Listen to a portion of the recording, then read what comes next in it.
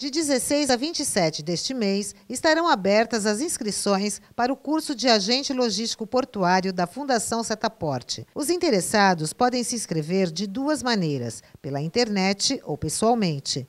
Como este ano não haverá prova de seleção, as vagas serão preenchidas pela ordem de inscrição. Ou seja, os primeiros inscritos terão as vagas garantidas. As aulas vão ser realizadas na Unimonte. No período da manhã, serão obedecidos os seguintes critérios: 25% das vagas serão destinadas para os desempregados em geral. Os outros 25% para associados e dependentes do setaporte. 25% para jovens entre 17 e 24 anos em busca do primeiro emprego.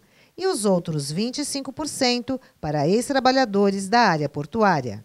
Já para o período noturno, 100% das vagas serão destinadas para os associados do setaporte que trabalham em horário administrativo.